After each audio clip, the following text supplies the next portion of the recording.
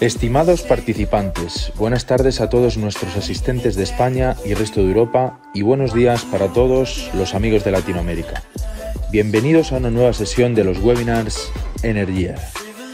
Agradecemos a toda nuestra audiencia el interés y la gran convocatoria de esta actividad. Les animamos a participar y realizar preguntas a través del menú que podrán ver en la parte inferior de sus pantallas. Nuestros participantes intentarán responder todas ellas. Pueden estar informados de todos nuestros webinars y de todos nuestros eventos con sus nuevas fechas a través de nuestra página web www.energyart.com. Les animamos a seguirnos en nuestros perfiles de redes sociales para conocer todas las novedades y noticias de interés al momento. Dejamos ya la palabra al moderador de la sesión, que se encargará de presentar a los participantes y guiar el debate. Muchas gracias y buen webinar.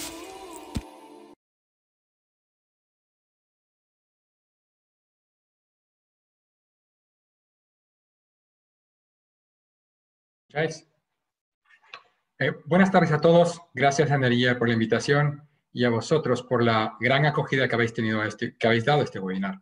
Hoy tenemos la suerte de contar con un panel de líderes de mercado que desde su perspectiva nos vienen a hablar de bancabilidad, liquidez y rentabilidad para el sector renovable en un entorno como el actual, con caídas de precios, caídas de demanda y mucha volatilidad e incertidumbre. De ahí la pregunta que nos hacíamos, reto u oportunidad. Sin más, me gustaría presentar a los miembros del panel. Empezamos con Bárbara Tortuero. Bárbara es directora del Departamento de Asesoría Técnica de Atas Renovables, en la que asesora a promotores y financiadores durante las diferentes etapas de un proyecto, desarrollo, construcción y operación. Bárbara es ingeniera industrial en tecnologías energéticas por la Universidad Carlos III de Madrid. Seguimos con Antonio Fernández Montels, director financiero de Grinalia, entidad en la cual forma parte del comité de dirección Antonio es por IS Business School, es uno de los artífices del éxito de Grinalia, una compañía que ha multiplicado su valor desde que saliera a cotizar en el mar, con una estrategia financiera que incluye deuda project finance, corporativa y, mercado de capitales. Nuestro experto de mercado es Kim Kitts, director de Market Modeling en Econ Strategy Consulting, donde supervisa los estudios analíticos de los mercados eléctricos de España y Portugal. Él, como asesor de mercado, ha apoyado la finalización de 52 gigavatios de potencia en proyectos convencionales y renovables, con un valor en el entorno de 35 billones de dólares. Por el lado del private equity tenemos a Carlos Rey, director de inversiones en Foresight Group. Carlos es ingeniero industrial por la Universidad Politécnica de Cataluña y ha sido clave en el desarrollo del portfolio que Foresight tiene en España, con desarrollos que han ido desde el Ready to Build hasta eh, finalización en COD y cerrando PPAs para su cobertura. Eh, aunque, no aunque no ha podido estar presente, porque coincidía con un evento que organiza la Bolsa el día de hoy, sí ha querido enviarnos un vídeo en el que nos habla de liquidez eh, enfocada al sector renovable dentro de los mercados de renta fija y variable. Así que presento también a Jesús González Nieto, director gerente del mercado alternativo bursátil MA. Jesús es licenciado en Derecho y Económicas por ICADE, es responsable en BME, entre otras cosas, del programa Entorno, del, eh, entorno Premercado perdón, y del mercado Latibex. Me presento yo también, mi nombre es Juan Carlos Vadillo, soy socio y director de ATZ Advisors. Somos una boutique de asesoría financiera centrada en fusiones y adquisiciones, en deuda, asesoría y reestructuraciones muy enfocados en los mercados eh, de España, Portugal y Latinoamérica. Antes de empezar, me han pedido que os recuerde que nos podéis enviar vuestras preguntas a través del recuadro que aparece en vuestras pantallas. Por cierto, al final haremos una encuesta interactiva sobre los temas de los que vamos a hablar ahora, de donde os pediremos vuestro voto a través de la plataforma. Sin más, empezamos con la primera pregunta. Recuerdo a los eh, panelistas que intentemos eh, eh, limitar la participación a tres minutos. Em, venimos todos leyendo de que como consecuencia de la caída de precios en los mercados de electricidad en España y la volatilidad de los mercados financieros, las renovables pueden dejar de ser viables. Entonces, la pregunta que, estoy, la que estamos lanzando para los panelistas es, con el escenario actual de precios spot y de largo, ¿cuál de los siguientes escenarios pensáis que el mercado considera como más probables para los próximos 12 meses. Uno, la caída de precios es un tema puntual y puedo seguir asumiendo ingresos superiores a 42 euros megavatio hora a partir del 2022. Dos, para los corporates este es el mejor momento para cerrar un PPA a largo plazo. Tres, muchos off-takers de los PPA cerrados en 2019 van a perder dinero en 2020 y 2021. Y finalmente, un porcentaje de la deuda de proyectos y o corporativa de empresas del sector van a tener que refinanciarse y reestructurarse. Al hacer una pregunta sobre precios de mercado y PPAs, me gustaría empezar eh, contigo, Kim, eh, para que nos des tu visión de, de, mercado. A nosotros, la verdad es que la gente nos pregunta mucho, en este punto, ¿qué hipótesis de ingresos tenemos que usar? Y además, si es mejor esperar seis meses para cerrar un PPA. Pasamos contigo, Kim.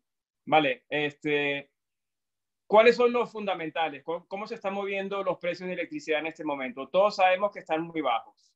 ¿Cómo surge esta situación? La situación fundamentalmente, hay mucha gente que dice que esto a base de que por el encerramiento que tenemos con el COVID-19, tenemos una bajada de demanda precipitosa. Y es cierto, eh, aunque si tú miras los datos del año pasado, estamos mirando una demanda, una bajada de demanda de más o menos de 10%. 10, ¿ah? No 20, no 50, no 30. ¿Vale? Entonces, por ahí es donde se están quedando las cosas. Ahora empezamos la, la, vuelta al trabajo. Veamos cómo se desarrolla el demanda en ese momento. Pero, históricamente, cuando se evalúa cómo se han desarrollado los precios, los precios no se determinan tanto por la demanda, muchísimo más importante, porque tenemos una, una, una, una, potencia hidráulica en España muy importante que nos deja ser más flexibles en los momentos en que estamos produciendo electricidad. Entonces, lo que es mucho más importante son los precios de combustible. Y ahora el precio de gas natural está por el suelo. 5 euros por megavatio hora quiere decir que si multiplicas por 2 y le añades el coste de dióxido de carbono, que serán como 8, pues estamos hablando de 18 a 20 euros por megavatio hora produciendo electricidad con un ciclo combinado. Ahora, eso no es sostenible si vamos a tener una, un desarrollo bestial que se necesita para descarbonizar la economía. Entonces, eh, pero igualmente, si miramos a lo que está ocurriendo en los mercados de futuros, eh, se recupera el precio de electricidad, ¿vale? Se recupera, pero es que eso viene a decir que también se está viniendo a recuperar porque hay una recuperación en el precio de gas natural, ¿vale? Entonces, por ahí es donde tenemos que estar eh, teniendo ojo. Y mientras que los ciclos combinados se necesiten de vez en cuando, a mucha gente que estaba asustada. Ahora en el segundo trimestre es cuando hay mucha más producción, ah, por ejemplo, hidráulica, ¿vale? Hoy, en este momento estamos hablando de una, lo dice en inglés, a perfect storm, una, una tempestad perfecta. Aquí los precios se pueden quedar bajos, pero estamos en una situación de la de donde podemos ver luz al final del túnel. Entonces, si me vienen a preguntar cuál es el pronóstico para el próximo o el resto de este año y el próximo, mira, tenemos lo que se siendo una persona sensata, mirando al mercado y mirando mis modelitos mágicos, yo diría que hay una ruta a recuperación hacia, hacia los 40 y bajos, ¿vale? El precio de electricidad a, medio plazo, que estás hablando de un precio base load. Entonces yo tengo, yo creo, yo, yo estoy bastante, tengo bastante confianza que los precios se recuperen y lo que estamos viendo hoy en día en los mercados de futuros se realice. Eso es la, la respuesta simple. Hablando de la cuestión de los PPA, sí, pero es verdad que todo el mundo está muy atento a lo que está pasando con los PPAs hoy, entonces yo como comprador, yo me, me encantaría poder cerrar un contrato con alguien eh, hoy mismo a, a 2025, pero creo que no es razonable eh, que la gente se entre a, este tipo de situación a largo plazo. Ahí lo dejo.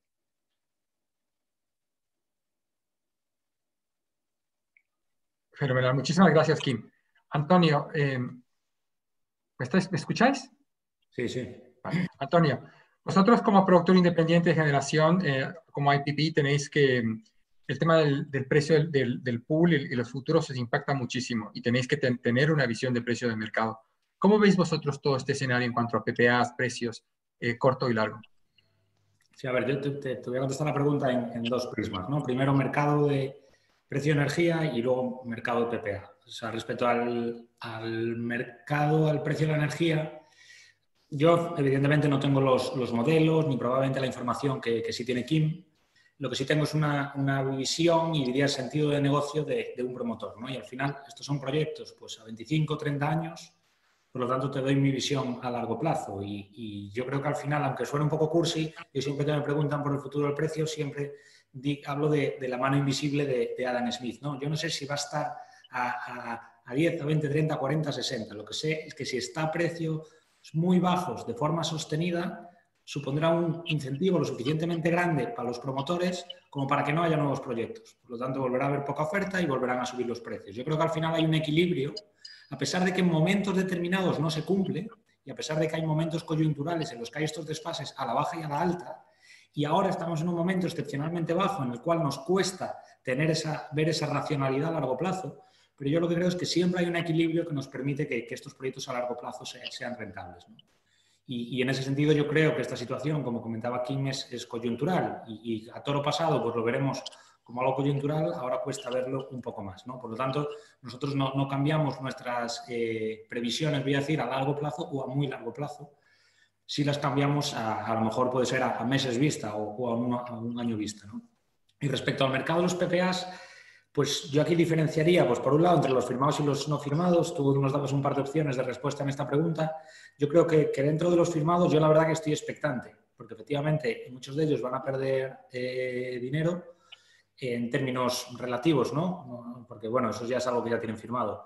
Yo estoy expectante, como digo, porque en teoría todos estos contratos eh, eh, tienen suficientes incentivos o desincentivos que evitan la rotura de los mismos y ahora estamos en un momento muy bueno para ponerlos a prueba, ¿no? O sea, que, eso por la parte de los firmados. Y por la parte de los no firmados, eh, bueno, yo creo que, yo no estoy aquí, digamos, para defender o, atacar a los PPAs, ¿no? Todos conocemos sus bondades y, sus desventajas.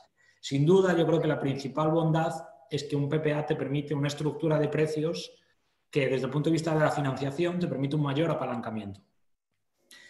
Eh, ahora mismo, con las cotizaciones o con las recotizaciones que vamos a tener de estos off-takers, eh, podrían darse casos en los que estos nuevos suelos estén por debajo de las previsiones merchant.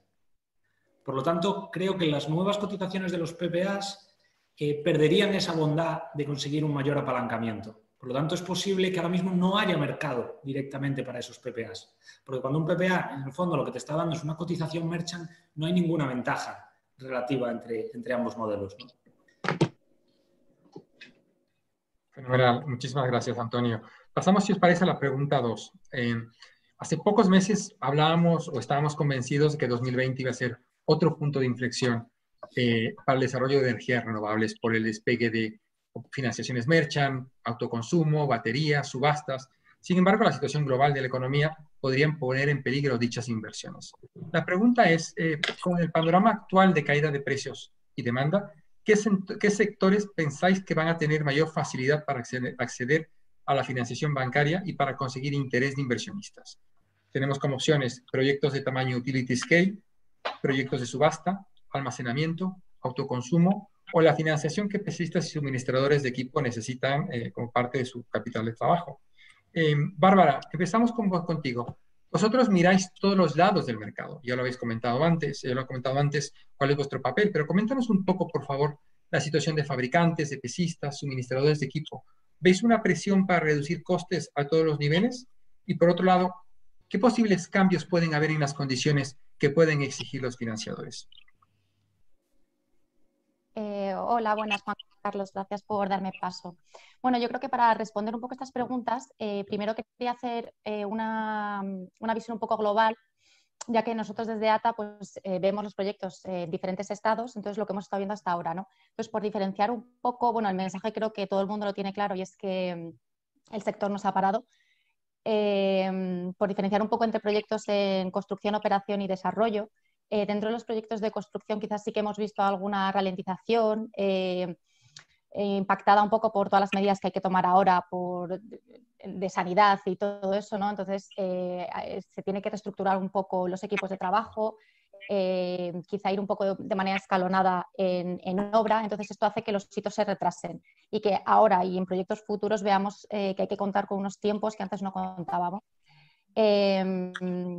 De todas formas, mm, hemos visto cómo en las últimas semanas se ha recuperado todo. Eh, hemos visto energización de plantas en proyectos en los que estamos y, emisión de autorizaciones de explotación. Por lo tanto, la Administración ha vuelto otra vez a, trabajar bien. De cara a los proyectos de desarrollo, quizás han sido los que más eh, se han podido ver afectados. Entonces, diferenciando un poco entre proyectos que estaban en una etapa un poco más verde o proyectos cerca de Ready to Build, un poco en lo que comentaba antes, eh, no sé hasta qué punto se ha escuchado, pero bueno, estaba intentando dar una visión global de lo que nosotros vemos desde ATA, lo que hemos estado viendo en este periodo, y me quedaba hablando sobre los proyectos en desarrollo, que quizás hemos visto, o sean los que más han salido perjudicados, ¿no? sobre todo aquellos que a lo mejor estaban en una fase de eh, cierre financiero próximo, pero, pero bueno, al final no, es, un impacto grave, o sea, eh, la cuestión es intentar llegar a un punto de encuentro entre eh, financieros y promotores. Eh, sí que es verdad que a, corto plazo, o sea, proyectos que ahora mismo se están, se están cerrando, hay que hacer revisiones de modelos financieros, sensibilizar diferentes escenarios. quizás los bancos estén en una situación un poco más exigente ¿no? en cuanto a ratios de cobertura o cuentas de reserva. Entonces, bueno, yo creo que sí que a lo mejor van a mirar un poco más con lupa eh, por los costes que se presentan de cada proyecto, pero no creo que sea eh, nada que impida la financiación de proyectos, porque como han dicho antes mis compañeros, eh, creo que estamos todos de acuerdo que estos son proyectos a largo plazo y que, y que bueno, que es algo circunstancial lo que estamos viendo y que, y bueno, al final hemos medio tocado fondo, ¿no? Esta situación sirve un poco como de referencia a futuro. Y luego, eh, antes de terminar esta parte, em, quería comentar también el punto de la regulación, que yo creo que es eh, un motor clave para la transición y para dar eh, confort al sector. ¿no? lo estamos viendo con el PENIEC, los planes, bueno, la ley de cambio climático, la ley de acceso y conexión, ha salido hace poco la, circulación de la, circular de la CNMC, perdón, que establece o que propone varios, varios puntos para agilizar un poco y descongestionar los puntos de conexión entonces, bueno, al final hay unos targets muy ambiciosos, ¿no? 0% en 2050, 0% de emisiones, 70% eh, de renovables en el 2030. Eh, y además mm, incluye también o incita también a otros, a otros sectores, ¿no? como las preguntas que, bueno, las partes que estaban en tu pregunta, eh, almacenamiento, subastas, entonces se pretende, se habla de una subasta con precios fijos, se incluye o se, pretende que aquellas instalaciones que ya tienen su punto de acceso concedido, pues que puedan aprovechar y hibridar y, o meter eh, sistemas de almacenamiento para aprovechar ese mismo punto de acceso y cuando las horas donde la planta fotovoltaica no está generando, pues puedan vertir a la red eh, con el mismo punto y ahorrar pues, eh, todos los trámites que conlleva un proyecto. ¿no? Entonces, bueno, yo creo que el conjunto de todos, de todos estos instrumentos van a acelerar toda esta transición y desde luego van a dar eh, estabilidad y, seguridad al sector, que yo creo que es eh, fundamental para incentivar un poco ¿no? la, inversión. Muchísimas gracias, Bárbara. Eh, Carlos, vosotros en Foresight habéis estado invirtiendo, muy activos, invirtiendo en el mercado español en los últimos años. uno siempre piensa que un fondo como vosotros, de, una visión tan de largo, esto es una muy buena oportunidad. ¿Cómo veis vosotros esto de oportunidades? ¿Cómo veis el tema de subasta? ¿Queda apetito inversor para España? ¿Y, dónde pensáis que va a ser más activo el interés del private equity en los próximos meses? Gracias, Juan Carlos, y gracias al equipo de Energier por la invitación. Eh, a tus preguntas, eh, el apetito inversor seguramente sí. creo que sin duda eh, se ve que el sector de renovables y el sector energético es, un, es una inversión refugio, especialmente en ese contexto. Eh, y, vemos, estamos eh, visualizando que efectivamente va a haber más y más interés en ese tipo de activos por parte de inversores que tradicionalmente quizás no, no estaban, eh, no estaban en, el, en, el, en el sector. con lo cual, bien, mm, a pedido inversor lo, lo, confirmamos y como teníamos mencionado anteriormente en alguna de las intervenciones, no hemos experimentado, visto incluso en este periodo de crisis, pues eh, eh, reducción de actividad, una parada del, sector. ¿no? Creo que, que, somos de los, eh, si me permitís, afortunados de la crisis en el sentido de que no hemos sufrido, así como otras industrias o otras actividades económicas han sufrido o van a sufrir en, en, los, próximos, los próximos meses. Seguramente el elemento de la, de la reducción de precios de energía sea actuales que eh, a, medio, a medio plazo, eh, eh, hay que considerarlo, va a ser considerado, pero en general, en generales, no, no vemos que el, el, sector se vaya a parar. Es más, vemos lo contrario, que se va a seguir reforzado de esa situación de crisis por, por el interés de, de, de, inversores. En cuanto a en, qué, en, qué, en qué campos, en qué áreas, yo creo que bien, los fundamentales siguen siendo los mismos. Eh, nos referimos a pues, eh, obtener un retorno adecuado para el riesgo que estamos tomando, ya sea con tarifas, con subastas o, o PPAs o directamente riesgo, riesgo merchant.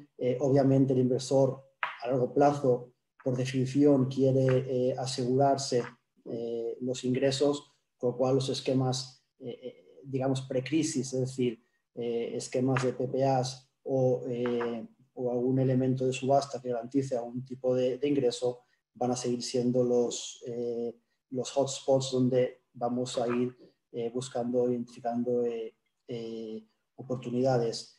dicho esto, el valor en nuestra industria recae en el proyecto, ¿de acuerdo? Entonces, todo, todo lo que sea efectivamente poder acceder a proyectos, acceder a pipelines, incluso si están efectivamente en fase de desarrollo, pues va a seguir siendo un, un, tipo de activo en el cual eh, eh, va a seguir habiendo el, apetito. En otras tecnologías quizás más eh, novedosas en el, sector español, como almacenamiento o, autoconsumo, pues bueno, quizás en ese contexto no es el ideal, ¿no? Seguramente se va a necesitar, pues bueno, un poco recuperar en general la economía para volver, digamos, a, a, a, intraprender eh, eh, pues áreas en las cuales pues eh, quizás requiere de, un poquito más, si me permitís, de riesgo o digamos huir ¿no? del proyecto de renovables habitual. ¿no? Em, comparto con lo que decía antes efectivamente Bárbara, ¿no? que, quizás en, este contexto pues bueno, ha sido más el segmento del desarrollo que quizás ha, sufrido, más daños, ¿no?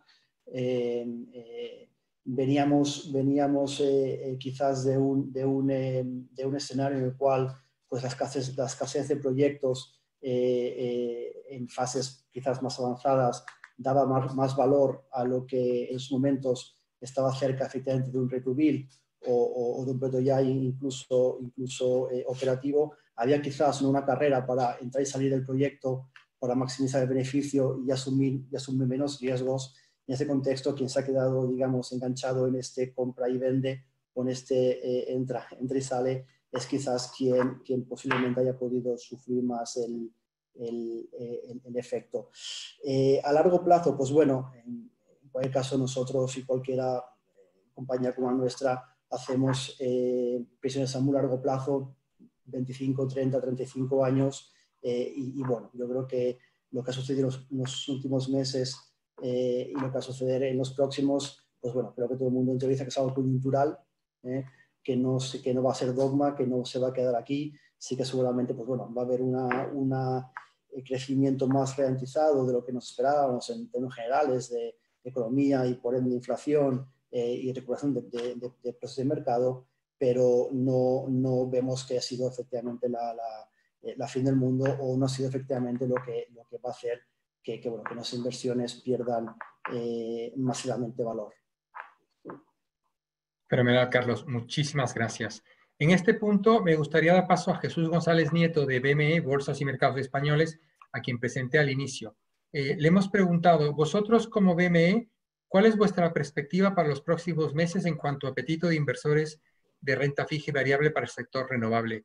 Eh, Jesús y el equipo BME le dan mucho valor y mucha importancia al sector renovables y ha querido estar presente. Esto es lo que nos ha enviado. Vídeo, por favor.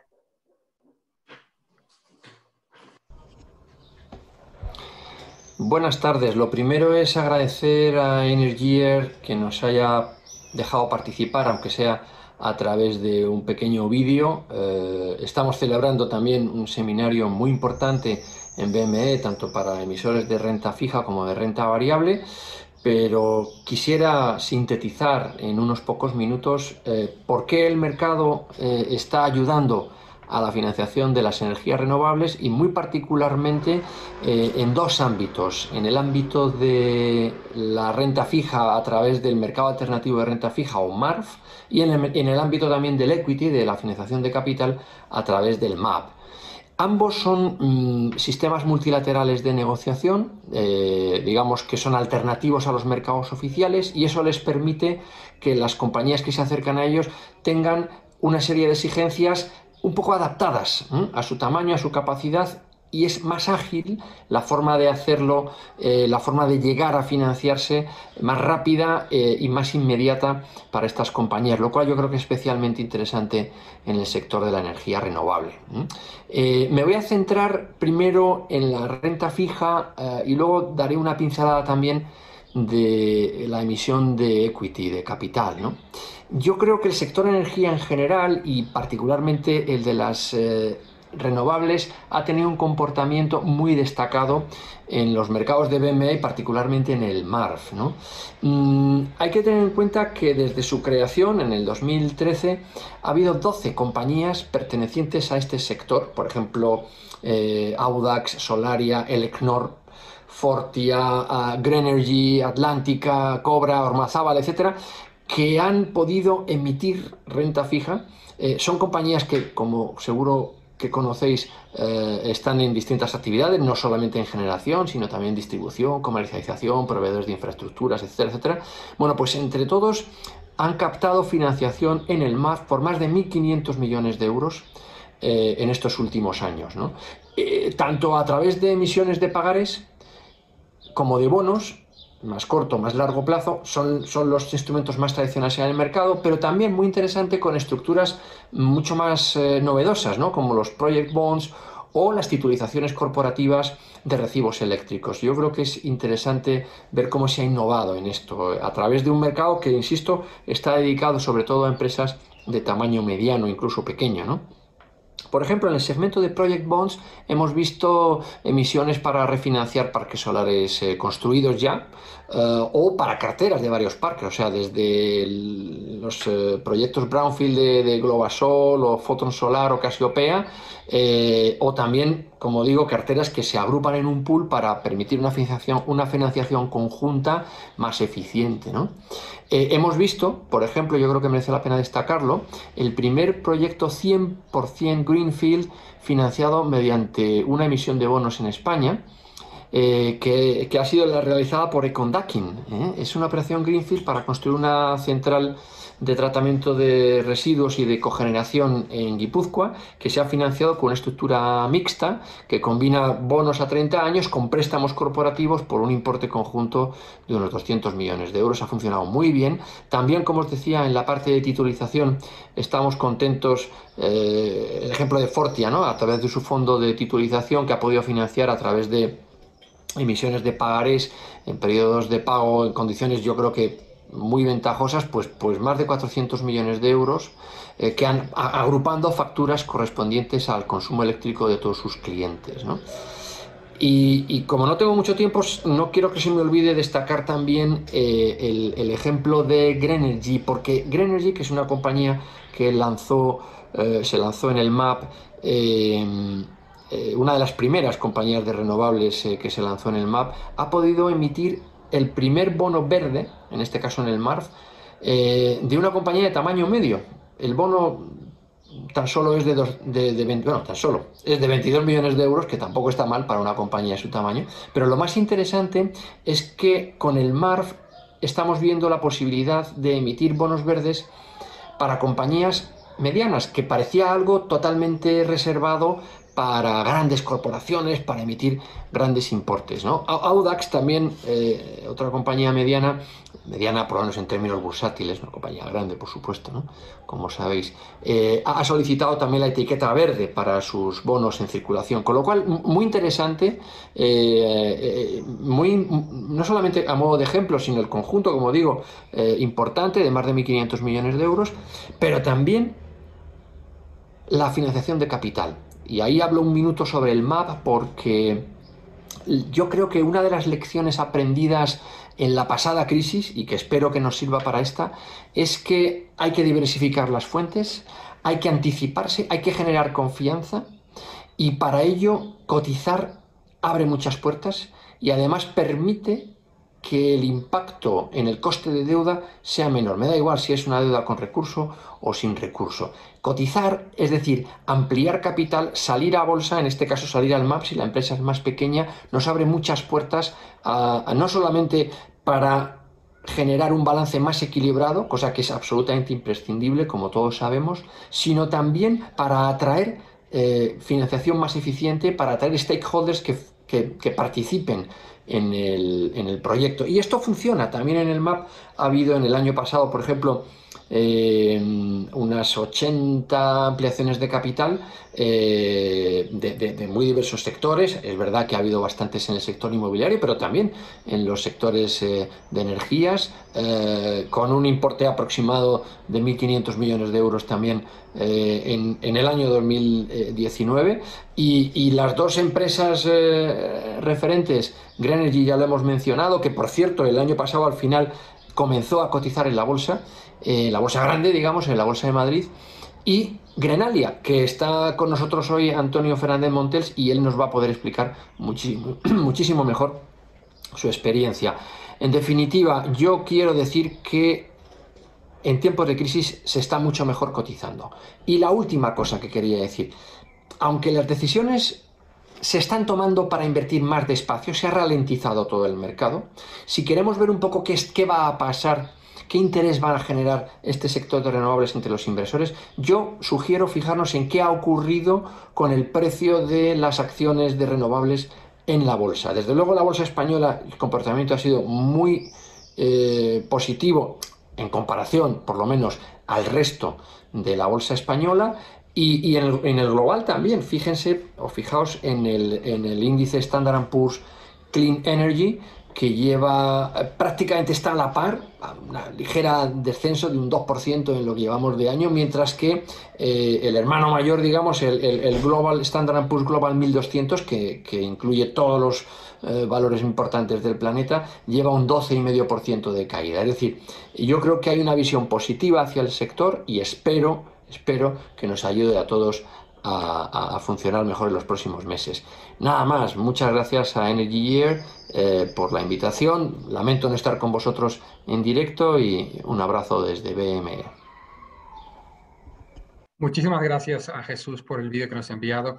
La verdad es que la bolsa ofrece una alternativa que pensamos que es real. De hecho, nosotros mismos somos partners de un programa de bolsa que se llama Entorno Premercado y pensamos que es una alternativa pues, de liquidez eh, tan buena como cualquier otra. ¿no? Eh, volvemos al panel. Eh, ya hemos dicho que, que, vemos mucha volatilidad e incertidumbre en el mercado. Entonces, eh, la pregunta que tenemos es, ¿qué creéis que es lo que más va a preocupar a desarrolladores, EPCistas, tecnólogos, financiadores e inversores en los próximos 12 meses de cara a hacer sus previsiones de ingresos? Riesgo del precio spot, riesgo del coeficiente de apuntamiento, que los takers de investment grade, riesgo de cambios regulatorios, riesgos tecnológicos como el storage, como el hidrógeno, o el efecto contagio de México, que por lo menos en algunos de nuestros clientes lo estamos viendo como algo real. Antonio, empezamos contigo esta vez. Yo no sé si quieres comentar algo de lo que ha dicho Jesús, un poco por alusiones, eh, pero la pregunta con relación a este punto es, vosotros sois una empresa cotizada en el mercado alternativo bursátil. Hoy he estado escuchando tu presentación en el MedCap y en el primer slide que tenías hablabas del, em, hablabas del, de, vuestro, de vuestro plan estratégico, ¿no? Entonces, la pregunta es, Ahora mismo, ¿vosotros estáis más preocupados en, eh, en, ese crecimiento que requiere el plan estratégico o os preocupa más la volatilidad de los ingresos? ¿Esto es ahora mismo vosotros una oportunidad o es, eh, o es un, un, riesgo? ¿Cómo lo veis? Estás en mute. Esto ya se me escucha, ¿no? Sí. Yo como he dicho antes, eh, yo creo que este tipo de proyectos lo que, lo que merecen es una visión a largo plazo. Al final uno cuando hace un análisis, cuando tiene un proyecto delante y hace un análisis pues, de, del recurso, pues bueno, eso es algo que tienes o no tienes, pero una vez que tienes, pues es difícil sobre trabajar sobre ello. La tecnología ya es madura, la, la capacidad del personal pues también está más que probado, hay miles de megavatios instalados por todo el mundo. Eh, financiación y luego profundizaremos, yo creo que hay, que hay más que suficiente. Por lo tanto, a mí lo que me preocupa y donde veo que está el valor añadido de todos estos proyectos está en la tramitación. ¿no? Ese realmente yo creo que es el, critical path y el recurso escaso y el elemento crítico eh, que me limita a mí la consecución de, mi plan estratégico. Eh, hoy en día muchos promotores tienen miles de, de megavatios en pipeline muchísimos. Ahora hay que ver cómo, cómo, eso se convierte en proyecto, ¿no? Y cómo transacciona eso, y cómo se acaba de, de tramitar, y cómo se llega a Ready to. Para mí ahí es donde está el elemento diferenciador de, toda la parte de, la promoción, ¿no? Más allá de un tema coyuntural, como decimos ahora, de que haya un precio bajo durante uno, dos, tres o cuatro años. Aquí lo que marca la diferencia es que el proyecto salga o no salga. Si el proyecto sale y durante dos años hay un precio particularmente o eventualmente bajo, pues tendrás unas décimas de TIR menos, pero unas décimas. Aquí lo que marca la diferencia es que el proyecto salga. Respecto a los, a los y eso es lo que verdaderamente me preocupa, me preocupa y eso es lo que verdaderamente limita mi, mi plan estratégico. Respecto a los puntos que tú mencionabas en la, en la pregunta, que son muy interesantes, por ejemplo, el riesgo de coeficiente de apuntamiento. Pues efectivamente es un riesgo que está ahí. Este riesgo a mí me preocupa según la tecnología. Pues en los proyectos fotovoltaicos me preocupa más, en los proyectos eólicos me preocupa menos. Eh, por eso digo, no hay, una aproximación general del sector, dependerá de qué proyectos, de dónde los tengas y con qué recursos. Pero sin duda es un, punto, es un hot topic. Respecto a que el off-taker sea investment grade, bueno, yo creo que eso es un, es un must have. O sea, eso no, admite dudas. Si queremos utilizar el PPA para lo que verdaderamente vale el PPA, pues yo creo que indudablemente tenemos que hablar de un, investment grade. Y por último, también comentabas el, tema del riesgo del cambio regulatorio. Yo creo que por suerte esa es una fase que, que, ya hemos pasado, ¿no? Por lo menos los proyectos de eólica y de biomasa que, que, ya son rentables a precios de mercado, ya son rentables a merchant, yo creo que el riesgo regulatorio ha pasado a un segundo plano. Siempre hay que tener ahí un ojo y yo creo que ahora lo que buscamos más es una estabilidad en la, en la regulación, que no nos anden cambiando, pero, pero, yo creo que ese riesgo regulatorio, como por lo menos en la medida en que existía hace unos años, ya no se, se aprecia por parte de los inversores. ¿no? Y luego respecto a todo el tema de storage, hidrógeno y todo eso, bueno, yo creo que ahora mismo eso no, eh, no, no, lo puedo valorar, porque por lo menos en nuestros proyectos en particular eso todavía es algo, es más especulación que, que, que dato real. ¿no? Nosotros ahora mismo no estamos valorando ese tipo de tecnologías y por tanto está bien tener un ojo en ellas, pero no es algo que me preocupe en mi día a día.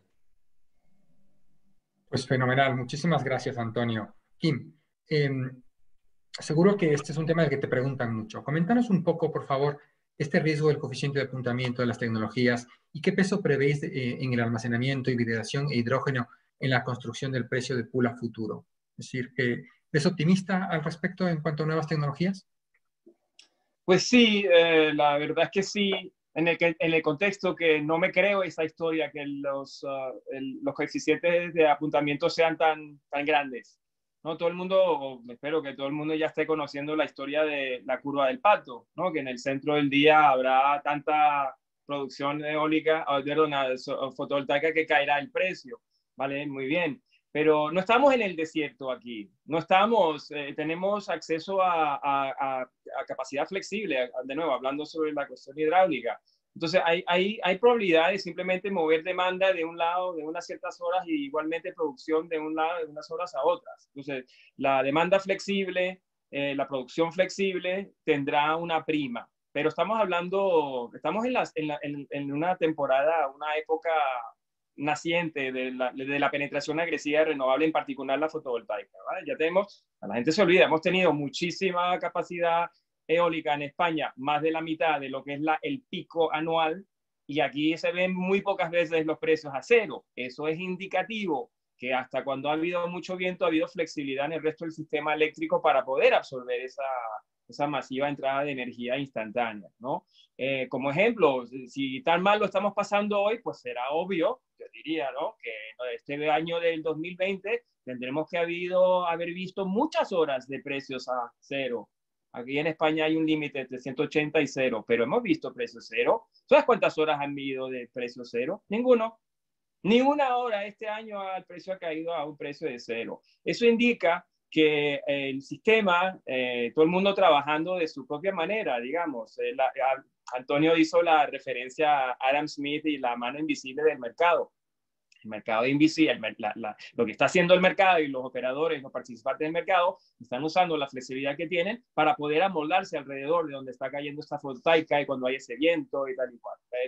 Entonces, al fin y al cabo, yo soy bastante eh, racional en el sentido que, mira, nosotros sabemos que hay un LCOE, para las diferentes tecnologías, ¿vale? Y en un equilibrio de a medio largo plazo, mirando de esa manera, pues estas tecnologías tienen las ventajas. Y al tener esas ventajas y cuando se hayan ya tenido que cerrar las plantas eh, termales, incluyendo los ciclos combinados, en teoría estamos hablando de, aquí a los próximos 10 años, ¿vale? Entonces queda un ratico para que se cierren y empezarán a cerrar las, nucleares. Pues en ese momento habrá muchísimo más de eh, energía que se tiene que tratar o tiene que venir de las renovables. También, hablando de un tema que de los riesgos aquí, hablando del hidrógeno, correcto. Vale, el hidrógeno es, en mi opinión, sí, es una posibilidad de poder mezclar, dada la infraestructura que ya tenemos en el sistema gasista de transporte, de transporte y distribución, meter un poquito de hidrógeno. Se puede meter como 5%, 10% del volumen de gas natural, se puede mezclar relativamente sin problemas técnicos eh, en, el, sistema. Pero problemas técnicos habrán en el contexto de que tenemos, tenemos que asegurarnos que el gas que llegue al usuario final sea de la calidad correcta y tal y cual.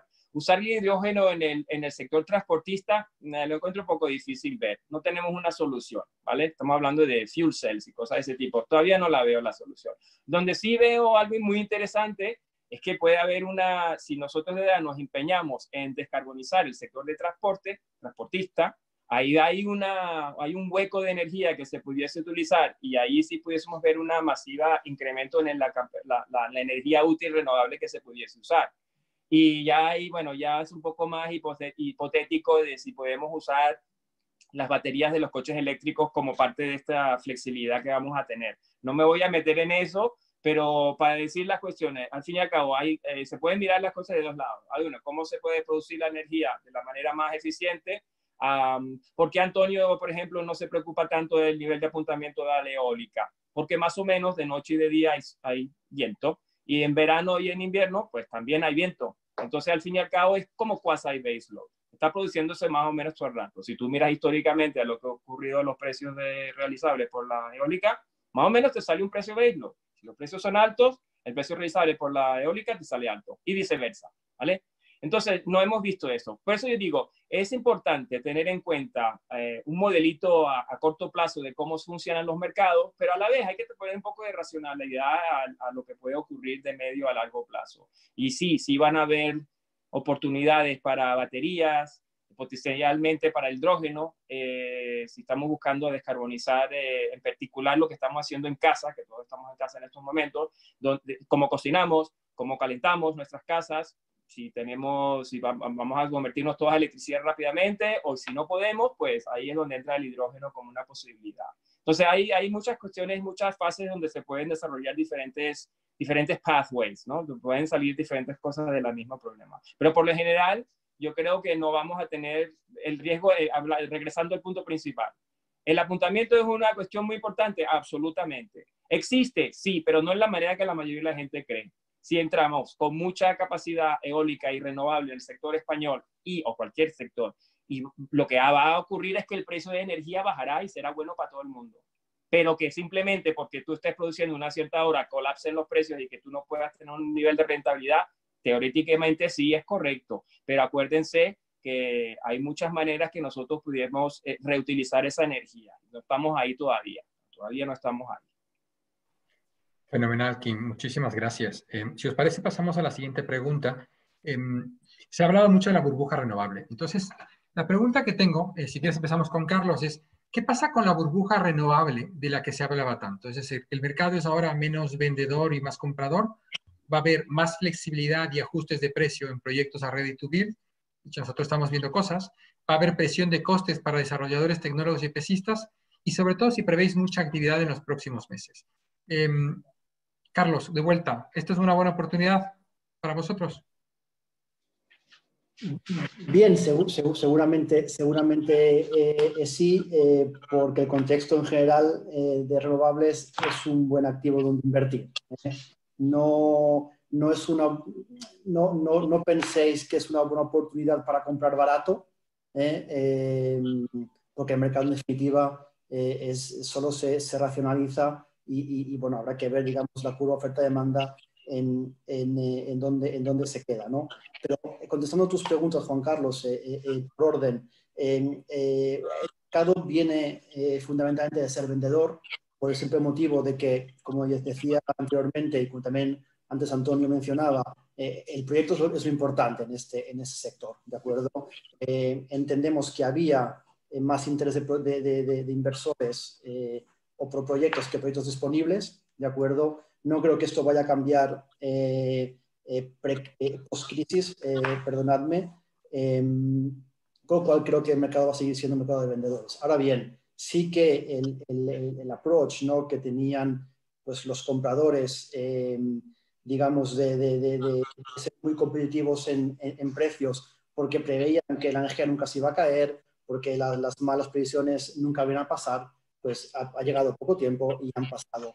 Con lo cual yo entiendo que eh, el inversor va a ser más, digamos, atento, más cauto, más prudente a la hora de, em, de hacer modelos, a la hora de hacer previsiones y consecuentemente va a ser más exigente eh, en, cuanto, en cuanto a precios. Lo estamos viendo, estamos viendo efectivamente que eh, por lo que vemos de, digamos, de, ofertas, de proyectos, ventas, compras, hablando con otras eh, compañías y con vendedores, que posiblemente el precio global del proyecto ha caído entre 70 y 80 euros, precrisis y postcrisis, ¿de acuerdo? y eso es across the board, es decir, todo el mundo ahora interioriza efectivamente pues las previsiones de, de, Kim, las previsiones de, de, los competidores de Kim, ¿de acuerdo? Y creo que la gente o los inversores de ahora adelante van, a ser más cautos, ¿de acuerdo? A la hora de implementar en sus modelos quizás previsiones más, eh, más pesimistas que optimistas, me atrevo, me atrevo a decir.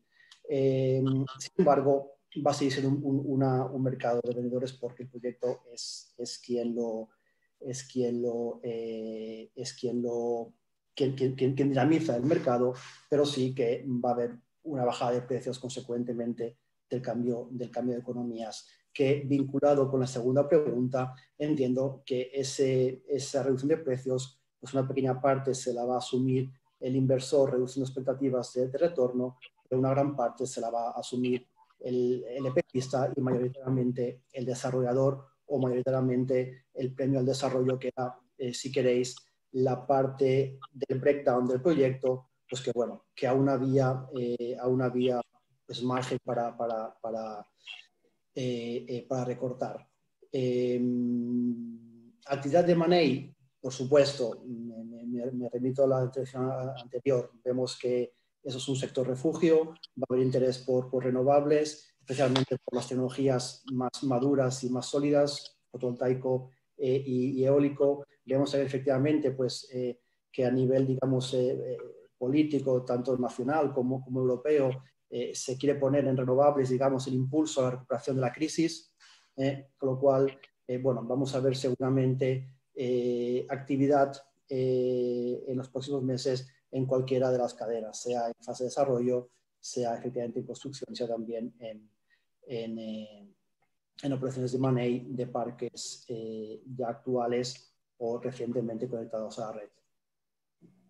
Muchas gracias, Carlos. Eh, Bárbara, vosotros estáis, como había dicho antes, en, los dos lados, bueno, en todos los lados de la cadena de renovables. vosotros veis muchas operaciones, veis muchas operaciones y sois un buen termómetro. ¿Qué opinión tenéis sobre este punto? Eh, vale, bueno, yo, eh, como ha dicho Carlos, la verdad es que sí que creo que va a seguir, eh, vamos a seguir viendo proyectos de todos los tipos que, se están mencionando aquí. por cubrir un poco el tema de la burbuja, bueno, como mencionaba antes, unas, uno de los pilares que tenemos, ¿no? que es la regulación, pues en la ley de acceso y conexión eh, yo creo que se pretende con las propuestas que hay eh, un poco frenar ¿no? esta especulación que hay, sobre todo a la hora de conceder puntos de conexión. ¿no? Hasta ahora em, te van un punto de conexión durante con una tenías cinco años para construir tu planta hasta la puesta en servicio y durante esos cinco años pues no se sabía, no, no sabíamos qué estaba haciendo el desarrollador, si el proyecto estaba parado, eh, si era un proyecto bueno, viable, no. Entonces había mucha capacidad que está, bueno, que está a día de ahora, a día de hoy, eh, congelada ¿no? Y, no se libera.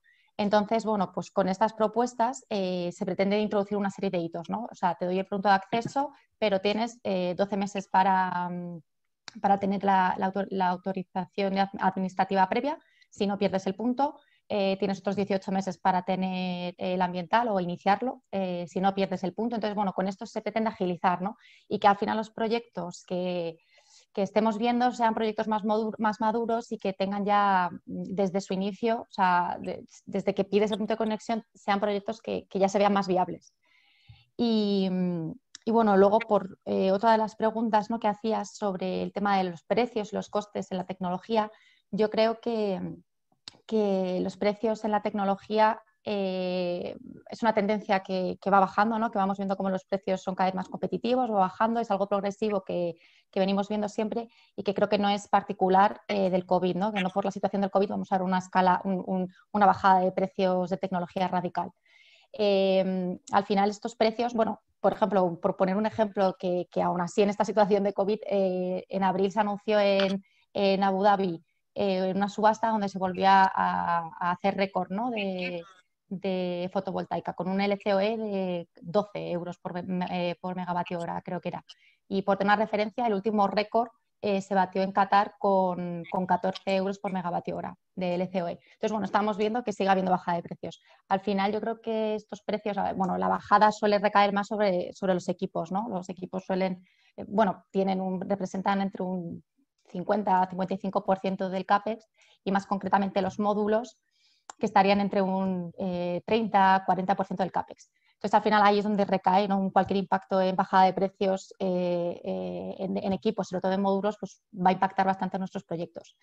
Em, en módulos hemos visto cómo siguen bajando los precios. El año pasado, hace dos años, se veían precios de módulos de 0,30, 0,31, 0,33 y este año ya estamos viendo proyectos con precios de módulos entre 0,20, 0,21, 0,22 euros el vatio pico y, luego un avance en la tecnología, que al final va ligado, ¿no? los precios van a bajar pues, eh, por la demanda y por, los avances tecnológicos. Em, como referencia, el año pasado se construían proyectos con módulos de 300 vatio pico. Eh, a finales de año ya se estaban cerrando proyectos con módulos de 400. Y a día de hoy hay muchos fabricantes que están anunciando que van a sacar al mercado eh, módulos de 500. ¿Eso mm, qué te permite? Pues una vez más optimizar más tu planta, reducir en costes adicionales eh, de, resto de equipos, ¿no? Pues instalas un módulo con más potencia, pues lo que conlleva eh, menos trackers, menos cableado, pues ajustar más tus precios. Y, yo creo que también a esta caída de, bueno, a este ajuste de precios que podemos ver hay que, hay que añadir la bifacialidad, la tecnología bifacial, que antes tenía un limitante que era el precio. Ahora vemos que la tecnología bifacial está a la par prácticamente que la monofacial y te permite mm, jugar ¿no? en tu modelo financiero. Al final vas a tener eh, pues desde un 10% o desde un 4%, pues más eh, reales, desde un 4%, incluso hasta un 10, 15, 20% de, de energía extra ¿no? que, vas a poder, que vas a poder generar. Em, entonces, mm, a, lo mejor, pues lo que decía antes, había un factor limitante con el precio en esta tecnología, pero, pero ahora ya, ya no está eh, yo creo que los bancos cada vez se sienten más cómodos con esta tecnología. Nosotros el año pasado eh, estuvimos en un cierre financiero como el TA en Australia eh, de 100 megas con tecnología bifacial y ahora mismo todos los proyectos que tenemos de, mm, Project Finance, te diría que yo como el 80% son de tecnología bifacial. En España, en Arabia Saudí, en Australia. Entonces, al final, veremos una bajada de precios. Resumiendo, eh, no, creo que no va a ser eh, consecuencia del COVID, ni mucho menos. Eh, seguirá siendo gradual y, bueno, dependerá, como siempre, de la demanda y de los avances tecnológicos que yo creo que seguimos viendo. Fenomenal, Bárbara, muchísimas gracias. Si os parece, pasamos a, pasamos a la siguiente pregunta. Hemos preparado una pregunta final, no solo para los panelistas, sino para todos los que nos estáis escuchando os pido que por favor votéis la siguiente pregunta, eh, escogiendo entre estas opciones. A ver si salen en pantalla las opciones. Perfecto. Eh, la pregunta es, en el mercado renovable español, ¿cuál de estos escenarios es más probable en los próximos 12 meses? Uno, bancos de inversores van a focalizarse en subastas futuras. Dos, bancos van a reducir tomas y subir precios. Tres, seguirá habiendo liquidez bancaria para proyectos bien estructurados y empresas saneadas. O cuatro, los inversores ajustarán y bajarán sus tasas de retorno. Por favor, vota, veremos los resultados al final. Sin más, pasamos a la ronda final. Por favor, eh, en un minuto, porque nos estamos quedando sin tiempo, eh, contestadme la pregunta, pero también dadme una, a nivel de conclusión, temas positivos y temas eh, que os preocupen de cara a financiación y rentabilidad. No sé, empezamos contigo, Antonio, por ejemplo. Estás en mute. Sí, decía que brevemente, desde el punto de vista de financiación, eh, a mí un amigo, que, está, en este panel hoy una vez me dijo, una vez en un cierre financiero que se estaba torciendo y, se complicaba un poco y me dijo, no te preocupes, eh, la gente tiene que seguir llevando los niños al colegio, ¿no? Pues, pues eso es un poco como yo lo veo. la rueda tiene que seguir girando. Evidentemente los bancos van a ser más selectivos, que van a elegir mejor dónde invierten, puede que reduzcan las tomas y suban precios, como es una de las opciones que, que planteas, y como consecuencia eso va a reducir la TIP del inversor, pero desde luego la rueda tiene que, tiene que seguir eh, girando, ¿no? Y esto aplica para bancos, aplica para fondos, aplica para, para operaciones de, de money. En ese sentido, si tú tienes un buen proyecto, el proyecto va a acabar saliendo adelante. Y antes Carlos lo ha dicho, yo creo que, que, cada vez más el sector de las renovables se está convirtiendo en un sector refugio. Yo cada vez más veo fondos disminuyendo sus posiciones en real estate e incrementándolas en renovables, ¿no? Entonces, yo creo que al final una cosa acabará compensando la otra. Luego ya por cerrar, mencionar que también era una de las respuestas que la rentabilidad del capital se conseguirá reduciendo los costos de PC y ONM, pues, pues yo creo que, también es recorrido en esa parte, ¿no? Como ha comentado Bárbara, sobre todo en, la parte fotovoltaica. O sea que al final la pregunta que has hecho es un poco tricky porque yo veo tres de cuatro posibles, ¿no? Debería haber un multi-choice. Sí.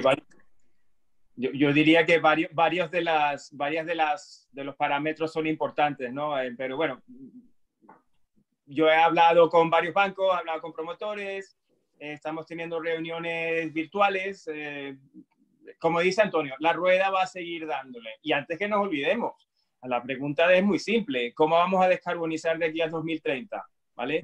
Pero es que lo, lo principal es que tú puedes, vale, una cierta gente como el el Coco Grande tiene ahí un modelito de cubito mágico y todo lo que tú quieras y te puede decir, mira, nosotros podemos meterle muchísima más renovable a este sector, a este sistema español, ibérico, para hablar también, para no excluir a Portugal también a la vez.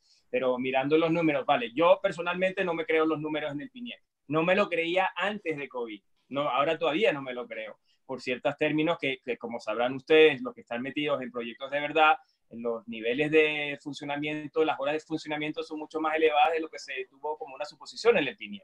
Pero eso no quiere decir que no hay no va a haber mucha, mucha capacidad para poder seguir adelante con muchos proyectos. Pero bueno, si nosotros estamos viendo, si tú preguntas a mí cuántos renovables puede haber en el 2030, pues yo diría, pues más o menos unos 60 gigas, ¿vale? 60 gigas, 6-0. El PINIEC dice que van a haber 87 o por ahí. Vale, pues de 87 o 60. Lo que también es verdad es que si va ahí en este momento de 100 gigas adelante y más para arriba buscando puntos de conexión, va a haber mucha gente que no va a llevar adelante sus proyectos. ¿vale? Entonces, esa hay, hay, cierta gente que sí va a estar capacitada para poder desarrollar proyectos y otra gente que se va a quedar sin nada.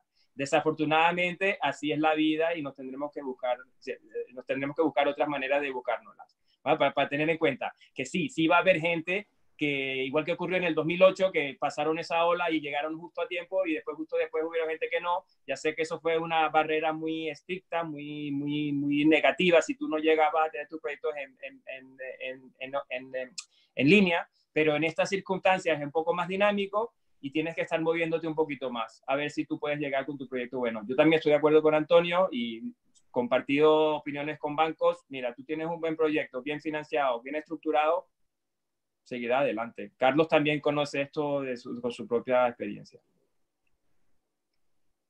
Pero mira, Bárbara, Carlos, ¿queréis agregar algo? Eh, sí, eh, bueno, yo creo que, que, bueno, la verdad es que estoy totalmente de acuerdo con lo que, con lo que han dicho Antonio y Kim. Em, al final, puntos positivos que vemos en todo esto, pues eh, hay mucha, muchos gigas que instalar, ¿no? Entonces vamos a ver bastante movimiento de proyectos. Eh, ¿Cuántos? Pues ahí a lo mejor está la duda. Eh, esto va a suponer mm, trabajo, o sea, puestos de trabajo de manera inminente. Y puntos negativos, pues quizá em, que el target sea muy elevado ¿no? y que haya que a lo mejor regular eh, un poco los mecanismos de mercado. Y, bueno, como hablábamos antes, la regulación es, uno de los pilares, ¿no? Entonces el tiempo que, ahora se lleve para, aprobar las leyes, ¿no? que al final es, uno de los puntos más importantes y, puede todavía demorarse un poco más. Y, luego, bueno, entre los escenarios que comentabas, eh, pues sí, yo creo que, no hay una solución única, ¿no? Que, vamos a ver un poco de todo. Al final depende un poco de las estrategias, de, em, los objetivos que tengan los bancos, los inversores, de, cuánto tengan de objetivos y, bueno, mm, va a seguir habiendo movimiento y, yo creo que es entre todos habrá que regular un poco los proyectos que se queden por ahí un poco más colgados. Fenomenal, Bárbara. Muchísimas gracias. Carlos, ¿quieres concluir? Bueno, por mi parte, pocos argumentos más que añadir a todo lo que han dicho mis colegas de, em, de webinar. Em, eh, quizás el, tema que quizás no hemos eh, eh, tocado, ¿no? y que también está, está en, tu, en, tu, pregunta de cuatro opciones que, que concuerdo, es un poco en, es difícil decir solo una porque es una combinación de las cuatro, es el tema subastas, habrá, que, habrá que ver cómo, cómo evoluciona, qué mecanismos, efectivamente para entender qué competitividad va a dar a otro tipo de esquemas eh, eh, como el PPA o no. Em, bueno, no me, eh, así mismo es, es, un webinar solo, tema subastas, con lo cual, pues bueno, eso para Eloy y para Iván, para que igual monten otra, otro webinar exclusivamente para subastas. Como conclusión, un mensaje de optimismo, creo que es positivo, digamos, dentro de este de esta nube de frustración y, pesimismo ¿no? que, que, esta crisis nos ha llevado a todos. Eh, yo creo que, que, bien, estamos, creo que somos afortunados del de, el sector en el cual estamos eh, trabajando y lo que estamos realizando. Eh, no, se va, no se va a parar y seguramente, pues bueno, tenemos que considerarnos afortunados, digamos, por, por, estar aquí y a los 165 participantes y a los, los eh, otros cinco finalistas, eh, panelistas, pues oye, mucho ánimo eh, y hay que seguir girando la rueda. Fenomenal. yo también quiero dar un mensaje de optimismo, es decir, llevo 20 años haciendo esto y, y ocasiones como estas, en el fondo te das cuenta de que eh, el mercado se autorregula, y estoy de acuerdo con Antonio, se acaba autorregulando, la gente no va a hacer cosas tontas, y el riesgo, desde mi perspectiva, el mayor riesgo que tenemos es básicamente en nuestro sector regulatorio, sino que le pregunten a lo que pasó en España hace, hace muchos años o lo que está pasando en México ahora mismo. ¿no? Eh, pero yo creo que a nivel de mercado el, el, sector pues, va a sobrevivir y, y, las perspectivas de largo plazo eh, siguen siendo interesantes. Carlos, me parece curioso que no querías hablar de subasta, pero tienes una pregunta sobre subastas. Así que ya que no quieres hablar del tema, vamos karma. A, claramente, por eso me reía. Eh, pregunta para Carlos Rey. El gobierno ha anunciado su intención de realizar nuevas subastas en las que el producto a subastar es la energía. ¿Qué opinas de la previsión del gobierno de obtener precios en estas próximas subastas del entorno de 25 euros megavatio hora? A ver, eh, esto es un poco como la carta de los Reyes Magos, ¿no?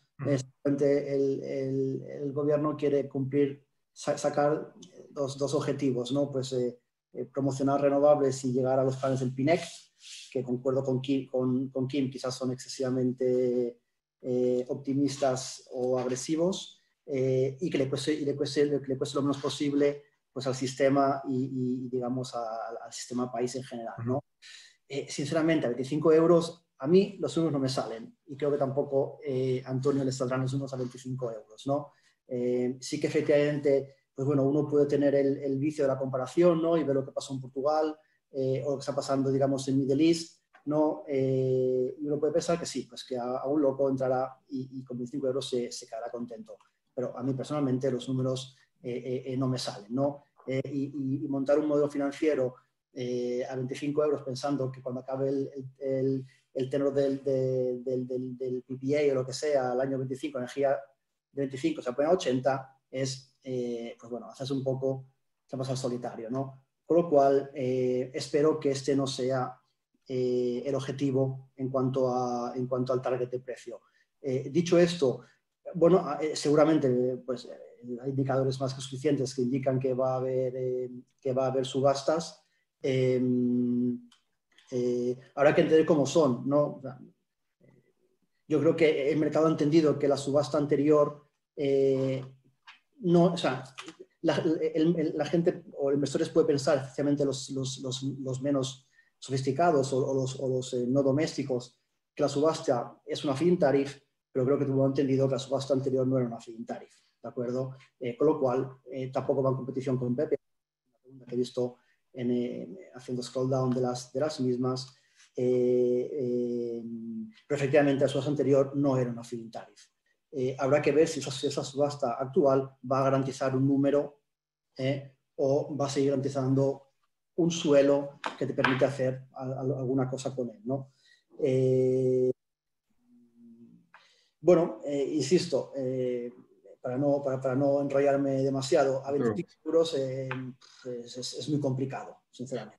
Yo, yo, simplemente voy a hacer una matización, es decir, porque nosotros vemos, por ejemplo, países, ya cubrimos mucho América Latina, parte de España, y, sí que vemos que hay precios muy competitivos en América Latina. Por ejemplo, 18 dólares megavatio hora en Brasil o, o, precios pues 27 dólares en Colombia o, México que está a 20 dólares. ¿no?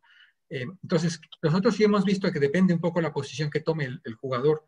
Muchas veces lo que dices es, yo cojo, gano una subasta a un precio X, sabiendo que el precio merchant, por ejemplo, lo que nos pasaba en Brasil, la subasta estaba a 18 dólares megavatio hora, pero el histórico de los 5 o 10 años, dependiendo del punto en el que estés, estaba por encima de 90 dólares megavatio hora. Entonces, en muchos casos es, sí, compro subasta para acceder a una, a una evacuación garantizada y una solo una parte de la evacuación la vendo con, con, con, subasta y el resto la vendo a mercha. Con lo cual, en el fondo, es seguir jugando mercha, ¿no?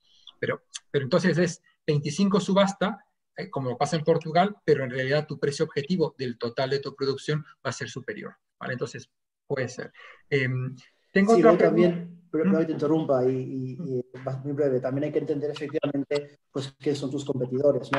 Porque es diferente eh, ver una subasta o entrar a una subasta si tú eres quizás una utility, ¿no? Que al final, digamos, te integras verticalmente, horizontalmente en la cadena, es decir, tú compras y vendes energía y ahí seguramente puedes hacer arbitrage entre cuánto compras y cuánto vendes, ¿no? Y, ahí seguramente, por ejemplo, utilities o, IPPs que tienen un, un, driver más, tener energía pues bueno, a 25 euros les puede funcionar por el mero hecho de tener presencia y capacidad de generación, ¿no? Pero a, players financieros como, como, nosotros, pues, pues digamos, no, no, no, no nos encaja, ¿no? Por, por el mecanismo de, de, la operación en sí. Entonces, eh, eh, es complicado, digamos, eh, categorizar una subasta habiendo eh, tal diferencia efectivamente de players con diferente, eh, eh, con diferentes digamos, intereses. ¿no? Tengo una pregunta aquí para Antonio. en la línea que contemplaba Antonio, o no, perdón, dice, en la línea que contemplaba Antonio, con la que estoy completamente de acuerdo, de que la mano invisible regulará el precio de equilibrio, nos dice qué precio consideráis de equilibrio teniendo en cuenta que a partir de 30 euros megavatio hora un proyecto fotovoltaico, fotovoltaico ya tiene rentabilidades interesantes. Em, yo no sé si, si tú quieres hablar un poquito de, este 30 euros. Siempre hemos tenido el valor de 30 euros eh, eh, históricamente como, como downside en nuestros modelos financieros y tenemos ahí el número de 30 euros. ¿El 30 euros como downside eh, se ha movido del mercado? ¿Tú cómo lo ves? Kim. Yo personalmente creo que el 30 es un buen número. ¿vale? Es, un, es un número que tiene lógica, ¿no? Al fin y al cabo, cada uno acuérdate que yo no estoy mirando simplemente a un proyecto, tengo que mirar a obtener una visión sobre lo que está ocurriendo en, un, en, un, proyecto ponderado, pues para hablarlo de algo. Y el número 30 me suena a mí como un número razonable si te, te está buscando un low side. Si tú estás buscando un número más razonable, pues un poquito más alto, ¿vale? Entonces, y, todo depende, a, a, mí me encantan estas conversaciones del LCOE famoso, porque siempre tenemos una situación de que dentro del LCOE hay una suposición sobre cuánto cuánta deuda tú has podido eh, recaudar y a qué valor. Claro, pero este, este es un problema circular. y, el coste, al que consigas ajustar el EPC también, efectivamente. Pues exactamente. Entonces, eh, hay ciertas cosas que están bajo tu control cuando tú haces un cálculo del LCOE y otras que la verdad no lo sabes hasta que te pones, eh, hasta que, hasta que te pongas manos, en la, manos a la obra, ¿vale? Entonces, eh, pero 30 como un número para tener en mente de referencia, más o menos funciona. Pero es que también, eh, yo soy un tío que le gusta la teoría, pero también me gustan las cosas prácticas. Eh, si miras lo que, lo que ocurrió en las subastas del 2016 y 17 aquí, el número piso, digamos, el floor, era más o menos alrededor de los 30. Por ahí es donde estamos. Entonces te da una indicación que gente pensaba que bajo las peores de circunstancias podían llevar sus proyectos hacia adelante. Pero por definición también me gustaría llamar la atención que si nosotros estamos buscando añadir 5 gigas o 10 gigas de fotovoltaico, vale, saldrán los mejores proyectos con el COE más bajo.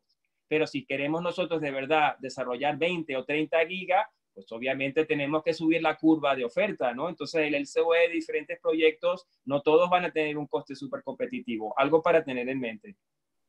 Muchas gracias, Kim. Eh, te, respondo. Yo más que hablar de 25 o 30, yo creo, yo como buen gallego lo que te diría es eh, depende. O sea, no es lo mismo un proyecto aquí en España que pueda tener 2.000 horas que a los que comentaba Bárbara en Qatar, que yo lo desconozco, pero es que a lo mejor ahí tienen 4.000, ¿no? Entonces, a lo mejor 17 en Qatar es un superprecio. O sea, yo lo que diría es que no podemos generalizar y simplificar y quedarnos con un solo precio. Dicho esto, por dar una respuesta concreta, eh, cuando aquí hablamos de, un underline de 30, estamos hablando de un precio sostenido de 30 en el tiempo. O sea, no es que un año vaya a estar por debajo de 30, es un precio sostenido. Por lo tanto, yo creo que es una medida muy, muy, muy conservadora. No digo que un año concreto no vaya a tocar o vaya a bajar de 30, es que de media va a estar a 30. Es decir, que si tenemos un año 45, otro va a estar a 15. O sea, realmente yo creo que 30 es un precio extraordinariamente conservador y aún así es un precio con el que yo me siento cómodo eh, dando en un proyecto tipo en, España, ¿no? por dar una respuesta concreta. Eh, Antonio, ya que te tengo en línea, tenemos una pregunta para ti también eh, de Francesco Setola, de, de que nos, nos, dice, se abre de la posibilidad de nuevos incentivos para las renovables, concepto empujando tanto a nivel nacional como a nivel comunitario. Perdón. ¿Pensáis que esto puede afectar el desarrollo del mercado de los PPAs? Es decir, en otras palabras, si ponemos incentivos, sobre todo vosotros estáis en, tecnologías como biomasa, por ejemplo, este tipo de incentivos, ¿piensas que puede afectar el tema del desarrollo de los PPAs para bien o para mal? ¿Y que esto puede hacer subir los precios de las instalaciones? Yo creo que, con los incentivos hay que tener mucho cuidado. Yo antes lo comentabais el tema de las subastas, ¿no? Eh, yo, yo, primero lo que, lo, que, lo que hacía es un análisis de, o sea, ¿qué le pedimos nosotros a las subastas? Yo personalmente lo que le pido a una, subasta es que establezca un calendario ordenado, predecible, donde haya unos cupos, decirlo así, anuales y donde haya un orden de desarrollo. Para mí eso es mucho más importante que luego haya un suelo otro, ¿no? Porque al final, antes lo comentaba Kim, las subastas de, de mayo y de julio del 17, pues está por ver si eso ha sido positivo o negativo. Está por ver si al final los promotores que han obtenido derechos de subasta, nosotros fuimos uno de ellos, si realmente fue tan buen negocio o al final no va a tener valor porque el merchant va a estar por encima. Entonces yo creo que hay que, hay que hacer una reflexión. A veces parece que se anuncian subastas y parece que ha tocado la lotería. Y ya, pues arreglado, va a haber una subasta, ya está. Cerramos y, y nos vamos a descansar. Muchas veces lo que hay que entender es el sentido que hay, subyacente que hay detrás de esa subasta. Y, insisto, para mí es más un tema de orden, de predecibilidad, de confianza en el sector para los financiadores, que del incentivo en sí, de que te cubra 5 euros de aval o que te dé un suelo en 30. Mm, eso al final, para mí es más importante casi el aspecto cualitativo que cuantitativo. Sí, si pudiese decir algo, si pudiese decir algo sobre la cuestión de incentivos, y, claro, los incentivos se necesitan. Eh, la gente desarrolla proyectos por simple, por la característica que hay un incentivo económico. O sea, al fin y al cabo, ¿qué tipo de incentivo eh, se desarrolla vis a vis si tú tienes una subasta? Pues lo que hace la subasta es que en teoría te lo hace más simple y todo el mundo puede participar. Quiere decir que esos que saldrán de adelante de todos los mejores proyectos. No sé, ¿vale? al fin y al cabo, sí o no, de todas maneras, la gente que es más profesional le, saldrá, le sacará mejor ventaja. La subasta en Portugal es algo raro, donde alguien puede ganar al precio de 14 y alguien puede ganar al precio de 40. Entonces, ¿cuál es el precio real? Tiene, es un poquito rarito cuando se organizan de esa manera. Otra cuestión Lo comentaba Carlos, la, subasta de Portugal no era solo un tema de precio, había otros derechos ahí en juego. Por lo tanto, no podemos limitar eh, una parte era precio y la otra era... era... únicamente a que se ha obtenido un determinado precio, no es comparable. No, sí, pero es exactamente ese tipo de, prioridad que, uno no se da cuenta. Escuchan los números y no saben. Yo trabajo mucho en el Medio Oriente y yo me conozco todos los trucos que la gente usa para llegar a estos precios súper bajos. No tiene nada que ver con lo que está pasando en España. Cero. ¿Vale? Pero otra cuestión con las subastas que me interesaría decir, eh, porque quiero llegar al punto de incentivos, es las subastas hay que tener cuidado porque cuando tú inyectas esa energía eh, al sistema, impacta en el mercado, merchant. Entonces, los que están fuera de subasta se pueden encontrar en una situación que no, tenía, que no se podía haber previsido. ¿no? Entonces, lo que ocurre en esas circunstancias es que hay que tener mucho cuidado porque las subastas del 17 y 18 podían discriminar. No les importaba un bledo a los que estaban bajo el régimen específico que, que iban a ganar y que iban a perder si entraba más capacidad renovable porque su remuneración era garantizada. Esto va a ser muy diferente cuando estamos pensando en gente que está desarrollando proyectos a tipo merchant o, o quasi merchant con PPA y tal y cual. Y ahí se va a abrir otro tipo de Pandora's Box, la, la caja de Pandora, porque pueden haber todo tipo de disputas. Hablando de incentivos, ¿cómo se pudiese llegar a, lo, a, una penetración de renovable sin necesariamente tener una perjudicando o, eh, eh, haciéndole mal a la gente que ha desarrollado fuera de subasta? Pues hombre, si tú usas un mercado de certificados verdes, por ejemplo, poniendo una, utilizando, dándole valor positivo a esos, uh, los, lo, que, lo que hoy se llaman los certificados de origen. Entonces, hay un balance entre los dos. Se han usado en otros países y yo siempre digo, mira, si queremos algo que no discrimine, pues eso pudiese ser una solución. Al fin y al cabo, hay que tener cuidado. Si tú estás firmando un PPA y lo que te está ocurriendo es que le estás regalando al que los certificados verdes, pues ten un poquito de cuidado porque eventualmente pudiesen tener algo de valor. Fenomenal, Kim.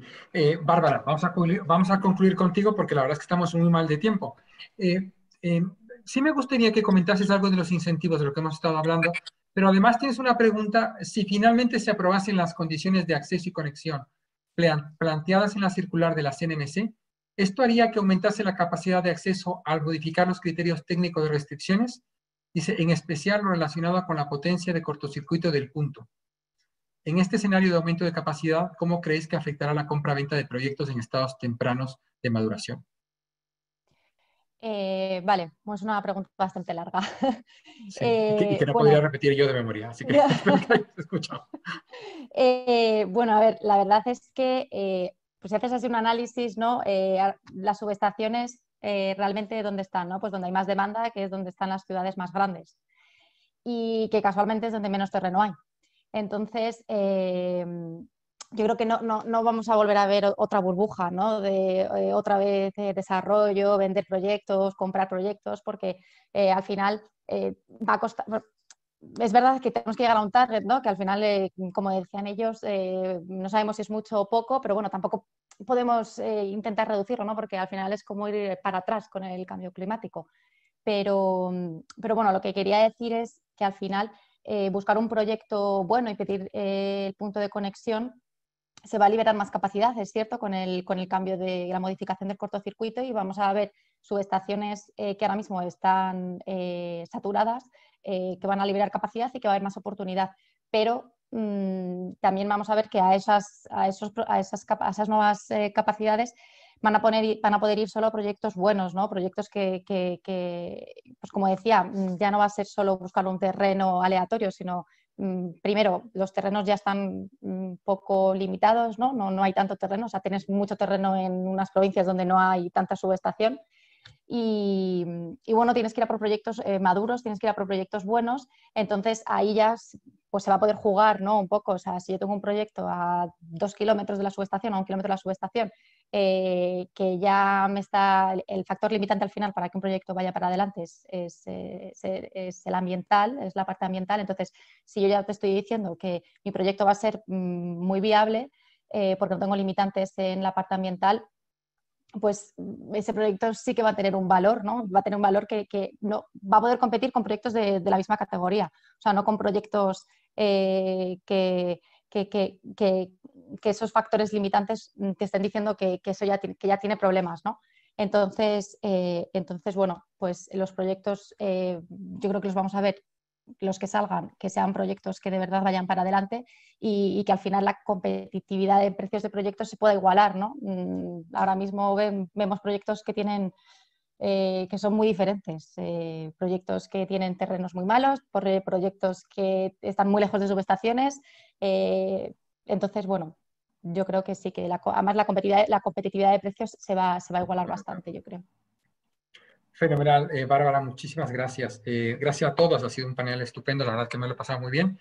Queremos concluir, pero no sin antes daros el resultado de la encuesta. Yo no sé si la gente de Energía puede poner la encuesta que hicimos, por favor. En pantalla. Juan Carlos, no, puedo, no puedo compartir la pantalla porque no, no saldría, ¿vale? Vale, fenomenal, no pasa nada. Bueno, da igual, me dicen que no se puede compartir. Simplemente, eh, yo siempre me refiero a la gente de este sector como el homus optimista, ¿no? porque en realidad siempre estamos, pues, para hacer un desarrollo de cuatro años hay que estar, hay que ser muy optimista porque el, el túnel queda muy lejos. El resultado de la encuesta es el siguiente. Pregunto, en el mercado renovable español, ¿cuál de estos escenarios es el más probable en los próximos 12 meses. Bancos inversores van a focalizarse en subasta, 12%. Bancos van a reducir tomas y subir precios, un 7%. Eh, seguirá habiendo liquidez bancaria para proyectos bien estructurados y empresas saneadas. 59% o 69, 59%, es que no veo el número. 59%, ole con ustedes. Inversores ajustarán y bajarán sus tasas de retorno un 22%. Así que toma nota, Carlos, porque vas a tener que hacer un ajuste en tus tasas de rentabilidad. No, está muy bien. Yo creo que esto refleja un poco el tono optimista que tenemos en este sector Simplemente para que tengáis como referencia, con las preguntas más o menos similares en un, en, un webinar que se hizo sobre financiación, por mayoría absoluta ganó, ganó la, la, opción de eh, bancos van a reducir tomas y subir precios. Así que, pues nada, muchísimas gracias a todos, que tengáis una buena tarde, gracias a los panelistas, gracias a la paciencia que habéis tenido, todos los que habéis aguantado hasta el final, un fuerte abrazo y, nos vemos pronto. Y gracias a Energier por por la organización.